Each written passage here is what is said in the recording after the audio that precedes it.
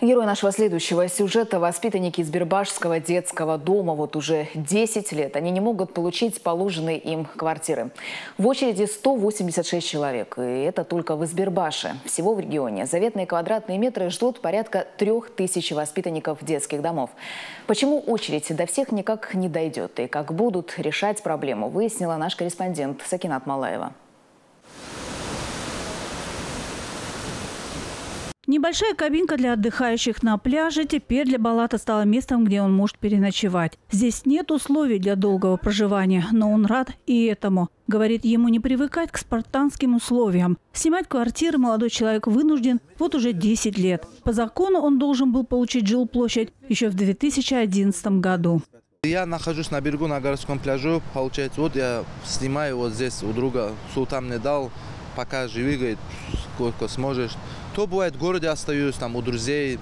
Я их предупреждал. Я в августе заходил в администрацию, сказал, мне с сентября месяца а, мне уже негде оставаться, потому что реально вот, у меня нет возможности снимать уже.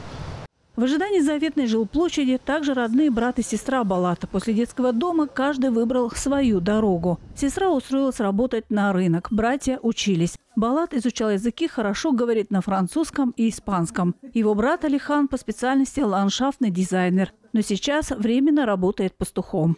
Я работал там в Туле.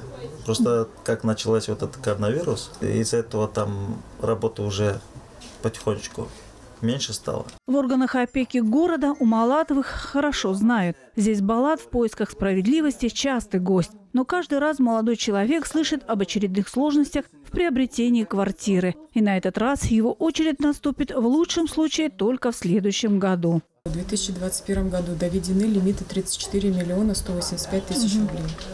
Из них приобрели да, 15 квартир. Угу. На остальные жилые помещения Комитетом Республики Дагестан и на оставшиеся деньги уже объявлены торги. Угу.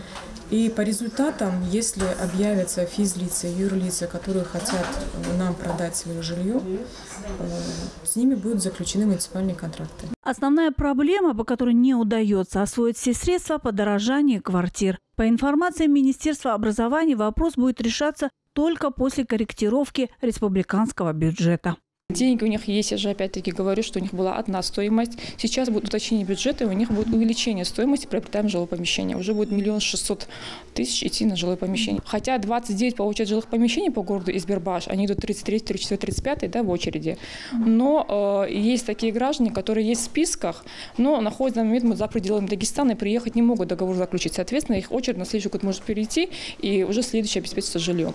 Вот таких там пару человек есть, и, соответственно, за счет них они должны даже могут быть в этом году попасть. Если в этом году не получают, то в следующем году они же среди первых будут идти на получение жилья. Проблема обеспечения детей-сирот жильем в республике актуальна. Решение ее – это одна из приоритетных задач правительства. Сегодня в регионе в очереди на квадратные метры от государства около трех тысяч воспитанников детских домов. В этом году жилье получат 485 человек.